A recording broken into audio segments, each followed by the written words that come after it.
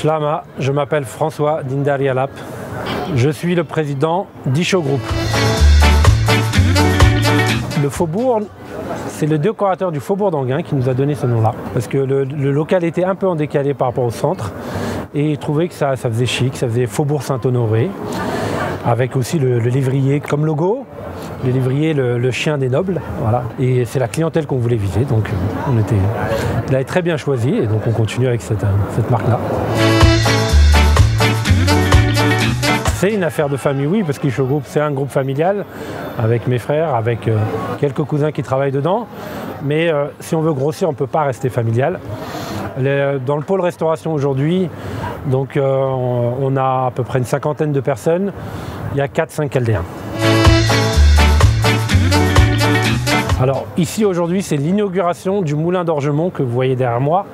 Le moulin d'Orgemont existe depuis plus de 5 siècles. C'est pour ça qu'ici aujourd'hui on a le préfet, le préfet adjoint, beaucoup de maires.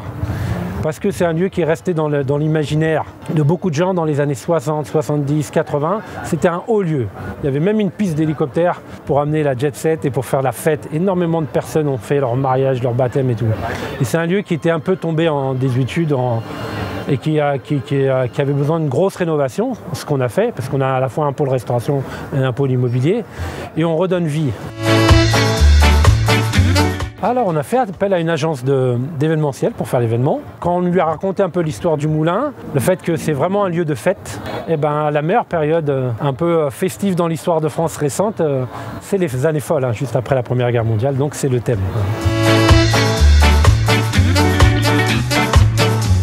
Dirai dans un an. la restauration, il y en aura toujours. Derrière moi, donc au moulin, il y a de la restauration depuis 200 ans. On va pas être les premiers à ne pas le faire marcher, je pense.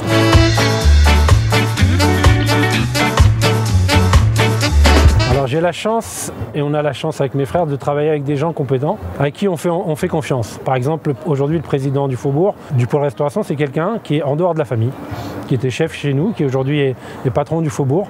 On fait confiance énormément à nos salariés, on les responsabilise, on leur donne, on leur donne la possibilité de grandir. Si, on devait grandir sur, euh, sur nos seules forces, on n'aurait jamais grandi comme ça.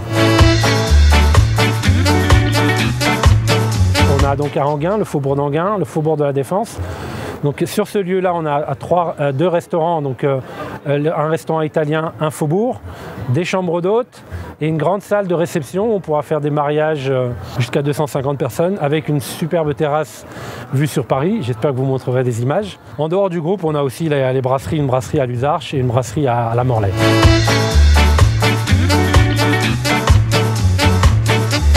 Souvent le lieu. Ce lieu est magique. Quand on l'a visité, on l'a visité en plein Covid. Alors bonne chance pour faire euh, financer un, restaurant en plein Covid. C'était encore un deuxième ou troisième, euh, troisième confinement. Mais en sortant de là, le lieu est tellement magique que je dis à mon oncle Laurent, quoi qu'il arrive, on va l'acheter. Voilà. On, doit s'installer dans des villes où il doit y avoir du passage. Parce que c'est des restaurants d'assez grande taille. On a à peu près 150 couverts. On fait que du frais. Donc on a énormément d'employés. Chaque restaurant va employer entre 18 et 20 personnes. Donc on a besoin que le restaurant puisse avoir un nombre de couverts conséquent. Euh, il y aura une offre d'italien traditionnel trattoria, un faubourg donc traditionnel français et le faubourg avec une super terrasse vue sur Paris. Donc ceux qui connaissent le faubourg d'Anguin connaissent déjà un peu la carte. Et les chambres d'hôtes, qui ne sont pas de la restauration. Et on a un projet de faire un rooftop sur le, sur le moulin que vous voyez derrière, mais ça c'est en cours. le permis va être bientôt déposé. On a déjà des activités en dehors de la France. Notre activité principale dans le groupe, c'est euh, les petits frères qui gèrent ça. Ils font des jeux mobiles. 90% de leur chiffre d'affaires est fait en dollars. Donc euh, physiquement, on est implanté dans le Val d'Oise, mais on travaille déjà beaucoup à, l'international. On a aussi une activité d'import-export, donc avec euh, deux de nos cousins Paul Bernard et André aussi, donc qui eux aussi font travailler énormément à l'import-export, donc à l'étranger.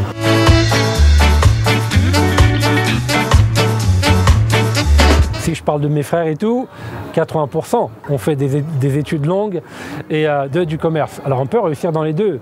Moi, bien sûr, j'ai fait des études longues.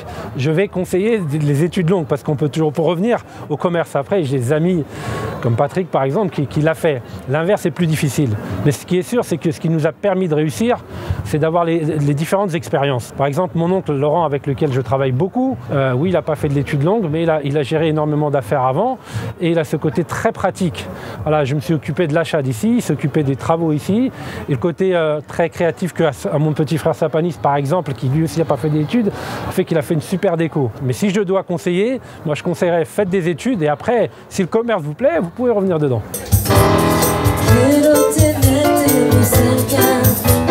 suffer